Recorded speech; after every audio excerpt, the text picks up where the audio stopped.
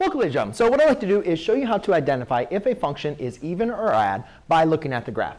So basically what I have is I have six examples here. And to understand, though, even and odd functions, we have to kind of um, know what they're, how we determine their even odd functions. So if a function is even, then it is symmetrical about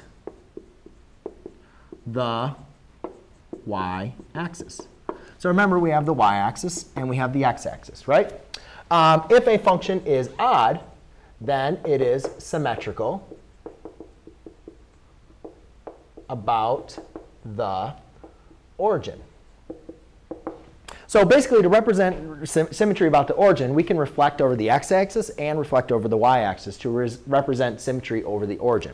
So let's go and take a look at this one. Now again, remember when we're looking at um, symmetry lines, basically a, a, line of symmetry is basically going to be like that mirror reflection. You can kind of think of it as like a dotted line that cuts the graph exactly in half. So the y-axis here, if I take a line here and I reflect this over this line, I would reflect this shape over here, but that's not going to produce the same graph, right? If I replace this graph over here and this one over here, it's not going to produce the exact same graph. So this graph is not symmetrical about the uh, y-axis.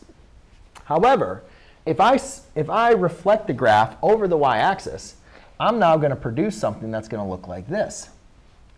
And if I now take this graph, the green graph, and reflect it over the x-axis, would, would, which would represent the origin, the reflected over the y and the x-axis, I would produce the exact same equation.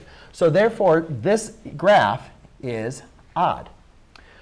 Over here, you can see that now when I take my line of symmetry about the y-axis, that dotted line cuts this v graph, the absolute value graph, directly in half. What is the exact same as on the left side, if I reflect over, is going to be exactly over the right-hand side. So therefore, this is an example of even, because it's symmetrical about the y-axis.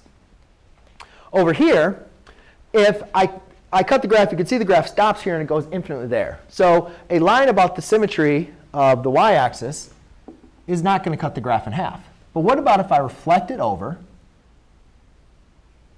and then reflect it over the x-axis? Well, if I do all of that, then I'm going to have a graph that's going to look like this, which again does not take me back to my original graph. So therefore, this is an example of neither, meaning it's nor, not even nor odd function.